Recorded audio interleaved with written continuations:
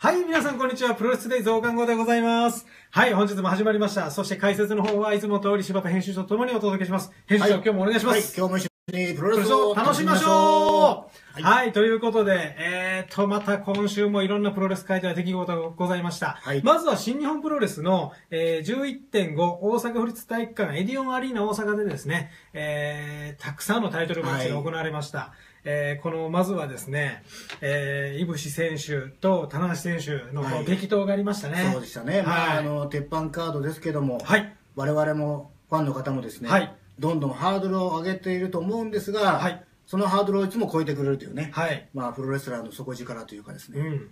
100年に一人の逸材と、はい。まあ、天才、はい。いぶし両者のですね攻防っていうのは本当にどんどんどんどんレベルが上がってますよね。そうですね。あのまたいぶし君がねあの一時を中村君とやったことでですね、はい。覚醒したと言われましたけど、うんうんまたもう一歩、うんえー覚醒したのかなとはい。いぶし君どんどん成長してますよねはいいや、すごい逸材だなというふうに思います。そして、あの、ブルーロープマッチが行われました、えー、ネバー無差別級選手権、こちら鈴木みのる選手対矢野徹選手の、えー戦いは鈴木選手が勝たれたということなんですけども。はいあの、まあなりふり構わないねはい。鈴木みのる選手もやっぱりですね、今の新日本マット生存競争がはい。激しいですからね。そうですね。もうあのビッグマッチにですね、はい。出て出られない選手いっぱいいるという、うんうん。この豪華なメンバーの中でやっぱり鈴木軍の存在価値をですね、うん。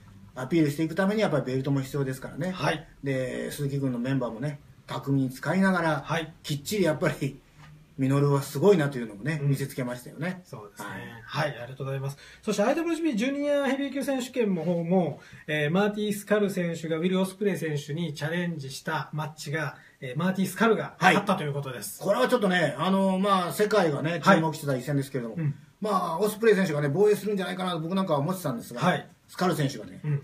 くせ者でしたね。そうですね思っていた以上にね、やっぱり、ものすごいテクニック、うんもちろん飛べる飛ぶこともできますしね、はいあのやっぱり世界のトップ、いろんなせ、えーリングでね、えー頂点極めてる選手はですね、うんすごいなというね、うん思いましたね。やっぱりで、日本人選手の方がね、テクニック的にはすごいんじゃないかと、我々はずっとそういうふうに思ってるんですけども、はい。いやいや、世界は広い。広いですね。外国人選手、うんまだまだいろんな人もいるのかなというね、そうですね。思い知らせます、思い知らされましたね、改めてね。あの、指折りとかすごいですよ。そうそうそう。ちょっとした技なんですけど、はいすごい見せますよね。はいはいはい。もうね、ファンのあの大きな会場をね、うん集中させるというかね、はい視線をね、そういうテクニックというか、プロレスの一つのね、うんなんていうんでしょう、才能といいますかね、うんえープロレスセンスといいますか、はい。輝いてましたね。すごいなと思います。はい。そしてですね、えー、こちら、ケニー・オメガ選手対バレッタ選手の IWGP US ヘビー級選手権。こちらもケニーが、あの、激闘を制しましたね。はい。はい。あのバヘビー級転向したバレット選手ね、はい。えーまあ、だんだんヘビー級らしくなってきましたけれどもね、はい。まだちょっと線が細いんでね、そうですね。もうちょっとウエイトアップしたらですね、うん。ますますヘビー級戦線でも、うん。えーどんどんのし上がっていけるのかなという思いはしますね、まだ、まあ、ちょもう少しバレット選手見たいですね、はいもうちょっと置いておきたい気がしますね。はい、はいありがとうございます。そして、この大会が終わった後に、えーいよいよ1.4に向けた、はいえーカードが発表されました。はいそのまず、じゃあ、えーちょっとこちら第1弾としまして、私の方から選ばせていただきましたのが、棚橋選手に対して、えーこちらがですね、ジェイ・ホワイトです。ジェイ・ホワイト選手が帰ってきました。はい。ヤングライオンだったんですけどね、そうですね、体がちょっとビルドアップして大きくなりましたね。そうですあのチラチラ出てたはい。ナイフをはい。隠し持った男ははい。ジェイ・ホワイトだったんですね、スイッチブレイド。飛び出し式ナイフですね。はい。いや、まさか、あの、ジェイ・ホワイトが帰ってきてですね、はいあの、田無選手に、まあ、あのような形で宣戦布告するとは、ちょっと思いもしなかった。まあ、びっくりしました。はい、田無君は決定の記者会見でですね、はいあの、凱旋帰国したら、うん。すぐにね、うん。えートップに乗れるなれるのかというね、うん。疑問もちょっとね、彼はそういうチャンスなかったですからね、はい。長期の海外遠征は言ってませんので、うん。日本で頑張ま頑張ってこう着実にこう進めていったタイプの選手なんで、はい。こう海外から帰ってきて、まあ、岡田和親にね、うん。田無君やられましたからね、あの時ね。そうですね。そういう思いもあるんでしょうけれども、はい。ただ、これはね、やっぱりちょっとドームでね、J. ホワイトどうなのかなと正直、今の段階では。ただ、あの、まあ岡田和親も1.4に帰ってきた時には、うんどうかなと、みんなに思わせましたけれども、ドーンと行きましたんでね、うん J. ホワイト、未知の魅力はい。にこう期待したいですよね。そして今日のね、今日7日ですか、はい。棚橋君ね、一般紙のですね、最大手の新聞の一面に出てるんですよね。あの、まあ、読売新聞という大事があるんですけど、はいそこの横にね、こう、顔写真、こんなちっちゃいやつなんですけど、うんえーその日の中の、はい記事の中で、はいまあ、その読売新聞さんが一番こう、クローズアップしたい記事だったのかな、はいの人物の顔写真がこれが出てるんですけど、はい。あの、まあ、就活で頑張ってる人たちに対する、あ、メッセージ。えーメッセージをね、高橋君あがー一面こう、ドーンとね、使ってか語ってましたけれども、はいあの、こう、大読売新聞という大事な横のこの顔写真というのはですね、うん。あの、プロ野球読売巨人軍の菅野投手、はい大エースですよ、うん彼があそこに顔が出るのは嬉しいですよって言ってたことがあるぐらいの、やっぱりね、いろんな人にとってもね、はい価値ある顔写真なんですよ。それはでもなんかプロレスファンにとって嬉しいですね。えー棚橋宏がね、はい。取り上げられたっていうのはね、非常に我々にとっても嬉しいかなとはい。いう気がしましたね。はい。はいい、やーありがとうございます。そして、これはもう衝撃を覚えました。ケニー・オメガ選手対クリス・ジェリコ選手の一戦が決定しました。はい現役の WWE の選手が、しかも、はいミュージシャン。そうですね かっこいいですよね。びっくりしましたね。しかも日本でもおなじみ、はい。かつて一時はライオン堂とそうですね。名乗ってましたよ、はい。その選手がだあの世界で大出世してね、はい今や世界のスーパースターになった、うん。あのまあ、カナダのね、ケリーと同じところの出身ですよね、はいだからカナあのオメガにとっても憧れの人の一人だったんでしょうね、うん。ある意味これはね、本当に、しかも、はい。新日本対 WWE、はい。レッスルメニア対レッスルキングダム、そうですね。これはね、今やはい日米のです、うん。世界のはい。二大団体はいだと僕は信じておりますが、うんえーそのしかも年間最大のイベントで、えーまあね、個人と個人の戦いですけれども、やっぱりどうしたってね、そうですね。あの我々もファンの方もね、新日本プロレスという看板をこうかん見えるでしょうし、はい。WWE というね、うん。こうロゴが見えますよね、後ろにね、はい。その二人が激突するわけですから、うん。これはね、すごい、いやーもう必見ですね。IWGP US 王座作ってよかったなと、そう僕は初めて思いました、で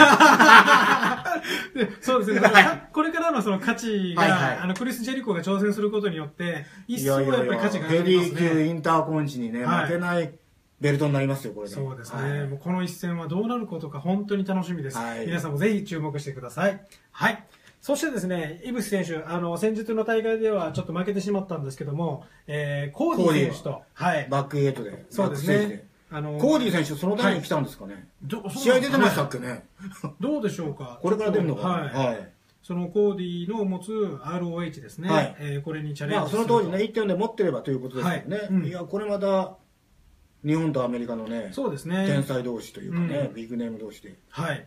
これ楽しみですね、これもね。そうですね。こういうか注目カードもいや、ござあのいますので。、棚橋君がね、はい井口にいろいろこう問いかけてましたけれども、はい。まあ、あの、21.5の井口、えー棚橋井口戦で、はい井口君もいろいろ掴んだものがあるでしょうからね、うんそれをぶつけてほしいですよね。はいで、1.4はね、ものすごいカードがずらずら並んでますんで、その中で、光る試合をできるかっていうのはね、これうんものすごい、選手にとってはね、うん。きついんですよ、これ。そうですね直言って。それをな、あの、、感はいっぱい、あの、タイトルマッチ並ぶ中で、うんどうやってこう、アピールできるかっていうね、うん。これ、井口君にとってはね、一つの試金石の試合になりますよ、これ。はい。はい。もう世界との戦いをこれからどんどん見たいなと思います。で、あの、はい。井口君ね、あの、もう一度ね、新日本プロレスの所属になってもいいじゃないかと。うん。もうちょっと話したりしたことがあるんですけど、はいまだ迷ってるようですけど、迷ってるとか、まあまあ、ちょっとこうかな。うん。ぜひね、この試合でね、ものものを見せてくです見せてですね、アピールしてですね、はい。えー新日本からぜひとももう一度加入してくださいと、うん団体所属になってくださいと、頭を下げられるぐらいのね、試合を披露してほしいですね。はい。いや、もうそれぐらいの、もう、あの、天才だと思いますので、はいはいぜひ見たいと思います。はい。そしてですね、えー、また IWP ジュニアを先日取られたばかりのマーティ・スカル選手に、初めての 4way 戦、そうですね。IWGP ジュニアで 4way 戦というのはやったことがないんですけど。ジュニアタッグあったかな。そうですね。なんかありました 3way とか、あ、4way もありましたねはい。こいやこれまたね、目が目まぐるしい展開になるのはどん。な試合になるのかいやどこを見ていいのかわからないというパターンですよねしかもこれ、すごい人が4人揃ってますから、そうですね。どうなるんでしょうかという。いやーで、あの、王者がね、あの、はいま直接負けなくても、うん。ベルトを失ってしまうということもあるというのは、フォーウェイなんで、はい。非常にこれやっぱりゲーム性も高いですからね。はいこれはもう本当に、何なんでしょうかね。やっぱあの、今の試合はね、うんあのゲームみたいだという見方をする方もいらっしゃいますけれども、うん。それの、そのままズバリになるかもしれませんね。そうですね。いや、だからこそ逆にプロレス頭脳をね、はい。プロレスセンスをこの4人が問われる一戦ですよね。うんはい。まあ、ぜひ、どんな試合になるのか、本当に大注目です。はいはい。そして、えあ、ー、その前に、はいあの、楊翔も。あ、楊翔君ジュニアタッグトーナメント優勝しましてですね、はいそうですね1.4ではヤングバラヤングバックス、はい、はい。ヤングバックス。これまたね、最高最強のはい。挑戦者チームとの一戦が組まれましたんでね。そうですね。要所もね、凱旋聞くからガーッと来てますけどね、うん1.4でそのまま勢いを続けられるかどうかね、はい。見ものです。そうですね、はい。ここをクリアできるかどうかで、今後のまた価い値がだいやもうねぶ変わって、きます本当にね。あのこれも一気に突き抜けてほしいですけどね、そうですね。はい。それだけのものは持ってると思いますね。はい、もうすごく楽しみにしてはい、ます、であの1.4のね、試合順番、まあ、IWGP ヘビーはメインイベントでしょうけどね、はい。あとタイトルマッチ、どういう、そうそうもうね、ダブルダブルメインイベントどころかトリプルメインイベント、うん。その上はなんていうんですかね、フォースメインイベント、なんていうんですかね。なんていうんでしょうかね、カルテットかな、なんかともかくね、すべてがメイベント級のね、はい。戦いになると思いますので、はい試合の順番もね、見ものですよね。これこそまたあのね、まあメインはもう IWGP ヘビーでもいいと思うんですけど、はい。それはあの、こう、ファン投票で決めてもいいかもしれません、あ、いいですね。そういうのなんかはいぜひね、そうですね見てみたいですね。あと、北にオーナーが、はいここ2、3年、えー、2万、発表が2万人かな。2万7千ぐらいねえーそれぐらいのあれなんで、はい来年は3万人を超えたいということをおっしゃってますけど、おっしゃってましたそ。んなまだまだ、昔は5万、6万入ってましたから。そうですね。北にオーナーもっともっとよ大きくいきましょう。風呂敷広げましょうよ。そうですねでファンの方もぜひうん。詰めかけてください。やっぱり、ね東京ドームというのは正直言って、あの、プロレスの会場ではないんですけれども。でも、やっぱりドームうん1.4お祭りですよ。はい。レッスルマニアなんて10万人の会場でやってますからね。はい。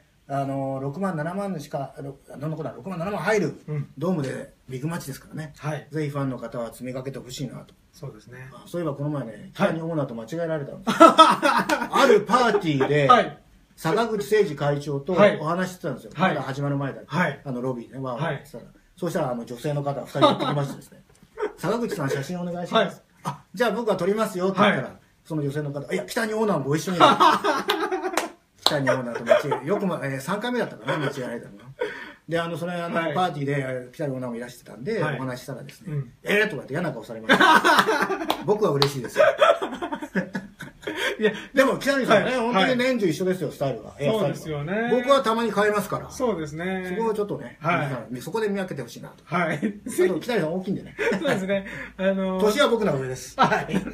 本当にね、私も実はよく、あの、そういうふうに、うちの編集長を、北谷さんとオーナーと間違えられる方がいらっしゃるということは聞いたことがあったので、あの、編集長は編集長。北谷オーナー、北谷オーナーで、また皆さんぜひですね、その辺もまた見ていただければと思います。ねはい。はいそして、あの、話が変わりまして、今度は、えーいよいよ間近に迫ってまいりました、あー全日本プロレスのジョー・ドーリング選手対吉達選手、参加ヘビー級選手権が行われます。こちらの方はですね、先日、秋山選手を吉達選手が破って、はい。勢いに乗ってるんですけど、もう予備戦をね、えークリアして、秋山純というね、はい。最高の強敵を下してですね、はい。堂々と三冠ヘビー級王座挑戦者はい。として認められましたんでね、そうですね。大きいですよ、吉田選手ね、はいえースケールの大きなファイトでですね、ジョー・ドーリング、まあ強敵ですけどね、はいなんとか乗り越えてほしいですね。そうですね。はいやっぱり、前日でのその足跡を残すはいためにも、、どんどんどんどん下がってほしいです。はい。じゃあお願いいたします。そして今度はまた話変わりまして、えー、プロレスリングノアの方でグローバルリーグ戦が今行われております。えーこちらの星取り表に関しましては、今こういうような状態ですね。えー、AB ブロックで、えーまあ、とりあえずね、はい A ブロッカーの塩崎君がね、そうですね。結構頑張ってますよね。はい。あと B の方はあの田中将人選手が全勝ですかね。そうですね。田今中選手はやっぱりはい今すごいですね。そうですね。はいどう。なりますかね。うん。注目です。はい、ちょっとこれからどんな風になるのか皆さんも注目してください。はい、そしてですね、先日行われました大会で、えーいよいよ7回目の引退を、えー迎えられました、えー大谷、あ、お大仁田敦選手。ねはい。こちらももう熱狂度合いがすごかったいやいやいやね、よくね、怪我人が出なかったなというぐらいの、はい大混乱な陥りましたね。パニックでしたよね。はい、もう、もうファンの方がリングサイドで、熱狂しちゃってねすごかったですね。はい、あの、ファンの方がね、一緒になって写真を撮ってるというね、はい。ものすごい光景でしたね。うんはい。もうすごかったです。またね、堀田選手が12月にレフリーとして、えー、どこかのリングに上がるということもちょっとちらっと。はい、僕もよく言うんですけどね、はい大井田さん、僕一つ上なんですけども、はい我々親父世代のね、うん。星なんで、はい。生涯現役でお願いします。出ました、生涯現役で。生涯現役ですよはい そうですね。はい。はい。多分もう、あの、ね、また戻ってこられても、皆さんウェルカムで。いやいや、もう皆さん歓迎しますから、そうですねはい、気にすることはないです。はい。そして引退というとですね、えーもう一方の言うとして、女子プロ界を長年支えてきました、豊田真奈美選手が、はついに引退の日を迎えられました。はい、あのー横浜の第三橋あ大桟橋ホールでですね、えー本当に超満員のお客様が詰めかけられて、えー皆さんで門出を祝ったと。そんなあの感じでござい50ました人掛けとおっしゃってました。けど54人ですか、はい50人ですね。はい。もう50人を超えるね選手の方が駆けつけてくれて、うん。しかも戦い抜きましたよね。いやーもう途中いやー大丈夫かなって何回も思いました、ねうん。はい。あのその後のねパーティーもねそうですね。皆さんが集まって、はい。温かいムードであの、はい。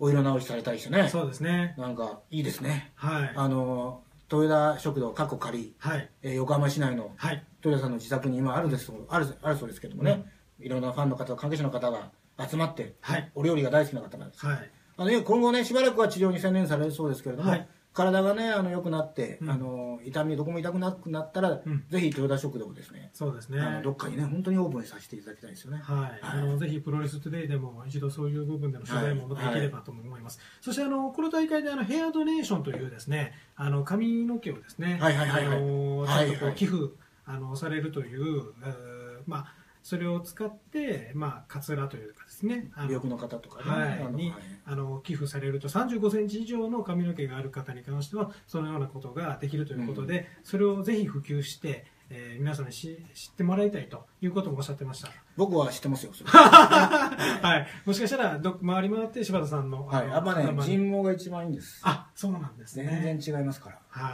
あのもうやっぱりプロのあのねその方がおっしゃってるんで、間違いないと思います。豊田さんのまあ素晴らしい方ですね本当にはい。ね、ありがとうございます。ということで、えーまあ、いろんなプロレスのまた出来事が本当に多かったですね。ねシーズンオフですからね、はい。シーズンオフがないというのがはい。プロレスですから、はい。プロ野球はね、えーソフトバンクホークスが優勝して、はい。とりあえず今年は終わりましたけれども、えープロレスはですね、うん。年中はい、みんな戦い抜いてますからはい、ぜひまた今週来週はい、年末年始も来年はい。始まってからもですね、会場に詰めかけましょう。はい。ということで、えー本日もプロレストゥデイ増刊号をお届けしました。それではこれで、えー失礼したいと思います。ありがとうございました。